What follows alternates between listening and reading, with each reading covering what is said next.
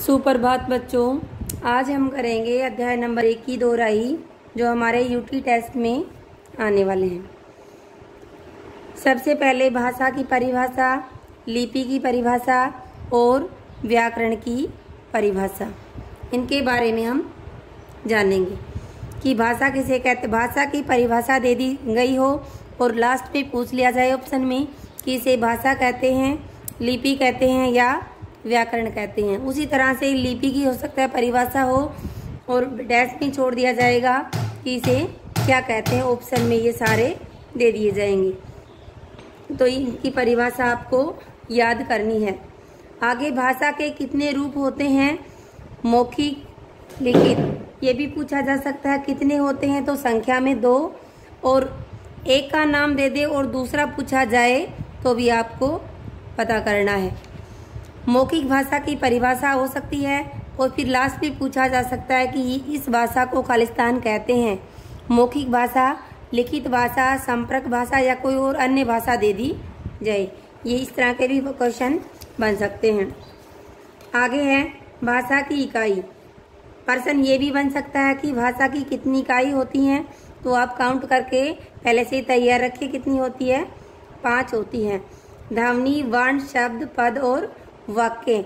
इनकी भी परिभाषा आपको याद करनी है। अभी मैंने बताया था कि भाषा की परिभाषा देकर और ऑप्शन दे दिए जाएँगे कि इसे क्या कहते हैं। इसी तरह से ध्वनि की भी अगर परिभाषा दे दी जाए कि मुख से निकलने वाला प्रत्येक स्वतंत्र स्वर खालिस्तान, यहाँ पर ध्वनि की जगह डैश मिलेगा आपको, कहलाता है। तो आप क्या भरेंगे? ध्वनि, वर्ण, शब्द, पद या वाक्य। अगर आपको ये परिभाषाएँ याद हैं तो ही आप सही भर सकते हैं। इसकी जगह जैसे ये रेड से भर रखा, लाल रंग से जो भर रखा है, इनकी जगह आपको डैश मिलेगा और आपको करेक्ट भरना पड़ेगा। बोली बोली के बारे में भी इसी तरह से पर्सन बनेंगे और लास्ट में डैश इस तरह से छोड़ दिया जाएगा और आपको फिलिप करना है। इनमें से कोई भी एक भाषा दे दी जाएगी। एक भी एक भाषा दे दी जाएगी और उसमें से पूछा जाएगा कि ये कहाँ पर बोली जाती है? या कौन सी भाषा है? भाषा और बोली में अंतर अंतर वाले का ऑप्शन नहीं बन पाएगा। आगे है लिपि। हाँ लिपि में पूरा पूरा क्वेश्चन बनेगा हमारा। किस तरह से बनेगा? एक बार देखिए कि पंजाबी भाषा की लिपि खालिस्तान है।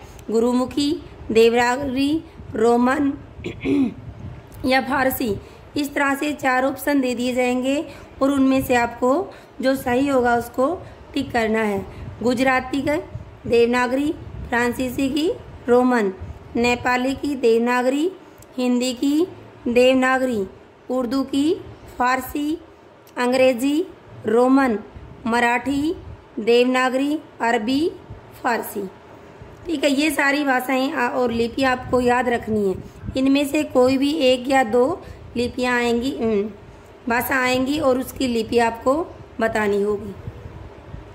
उससे आगे है व्याकरण के विभाग। व्याकरण के कितने विभाग होते हैं? संख्या में भी पूछा जा सकता है और दो के उत्तर लिखे भी मिल सकते हैं। तीसरा ऑप्शन में दिया जा, जाएगा कि तीसरा इनमें से कौन सा होगा। इस तरह का भी प्रश्न बन सकता है।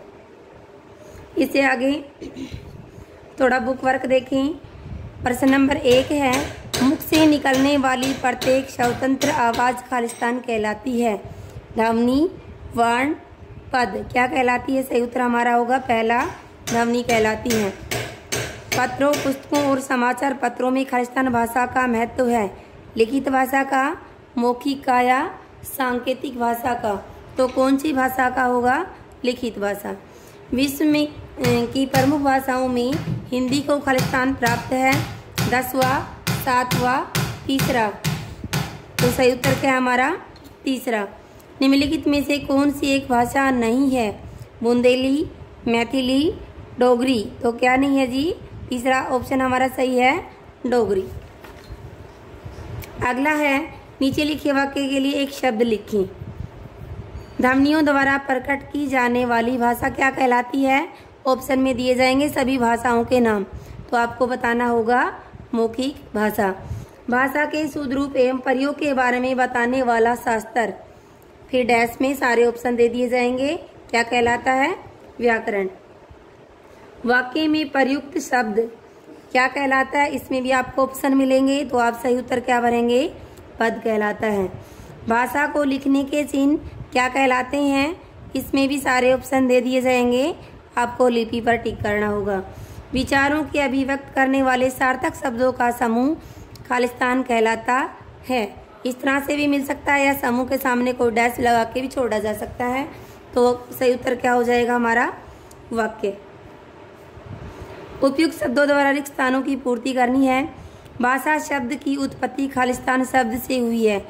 इसमें भाषा होगा, लेकिन ऑप्शन में बहुत सारे और भी शब्द मिलेंगे आपको।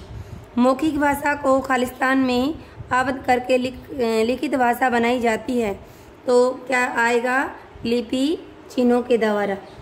भाषा में व्याकरण के नियमों का पूरा ध्यान रखा जाता है, ये व्याकरण है।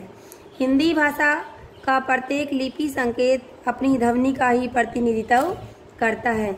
व्याकरण का शाब्दिक अर्थ है विश्लेषण करना। आगे ये है, ये ऑप्शन में ऐसे, ऐसा कुछ भी नहीं है। अपना बुक वर्क तैयार रखें पूरा।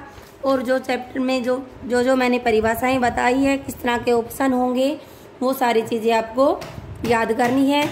और पंद्रह के बाद या पंद्रह या सोलह से आपके यूपी स्टार्ट हो जाएँगे। धन्यवाद।